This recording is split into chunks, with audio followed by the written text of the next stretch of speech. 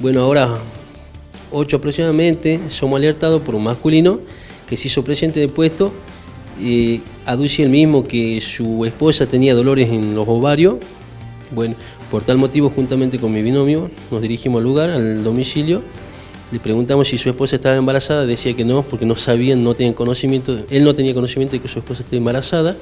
Este, bueno, arribado al lugar, eh, efectivamente nos dimos con un escenario que, que una vivienda muy precaria, ¿no? Muy precaria, este, no contaba con, habían dos camas, bueno, en una estaba la señora y estaba eh, con trabajo de parto.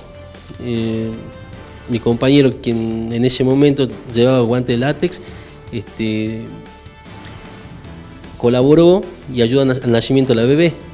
Y gracias a Dios todo salió bien y bueno, tuvo un final feliz, después llegó la ambulancia, eh, hicieron el control de la madre, tanto de la, bebé, y lo trasladaron al materno infantil donde, bueno, tenemos buena noticia, dice que en la fecha de hoy le iban a dar la alta, gracias a Dios,